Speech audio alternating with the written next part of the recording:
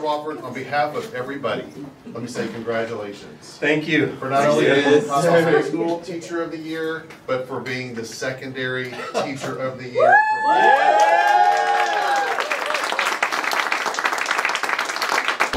You know, Mr. Wofford, from the minute we brought him to Coppell High School, completely took our journalism program and changed it. It became something so dynamic, something so uh, kid-centered, where the kids actually helped lead the learning, the kids actually helped lead the program, and he was just good with getting out of the way and letting them do their thing. And he's just one of the most selfless men I know. He's very uh, kid-centered, but he's also knows his business. Mr. Wofford is a hero to me, and I adore him, and I'm so thankful that he is in Coppell High School, and what he's done with our journalism program is par none. I was, I hadn't thought about it. I saw that they announced the elementary teacher of the year earlier this week, so I just kind of thought, oh, I wonder when they're doing the secondary. Not like, you know, with hopes or goals or just just curiosity. Obviously, if you're campus teacher of the year, they say that that's announced next.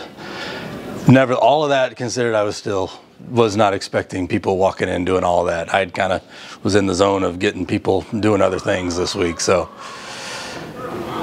yeah, how did it feel? Surprised, still a little shocked, still trying to kind of soak in what just happened. I have students that their work is out there for everyone to see, and I have amazing students that do great work. So it, it, it does make me look good. Dr. Hunt and Ms. Springer have done more professionally for me as, in my career, you know. And then I talked about Miss Kennedy, and just you know working alongside her has made me better. So those are the three. There's a lot of people, but the three that came to mind in that moment. Oh, I was so happy for him. I feel that he is so deserving of this award. Um, I've watched him for years. Uh, he's been nominated multiple times for Teacher of the Year, and this was the time that it finally came to be. I am so proud of my little brother. I have called him my little brother ever since uh, I came here. We just, we hit it off like iron sharpens iron. We make each other better. And uh, I'm just so proud. Um, glad to be able to stand by his side as he he gets this wonderful recognition. We love you, Mr. Walker.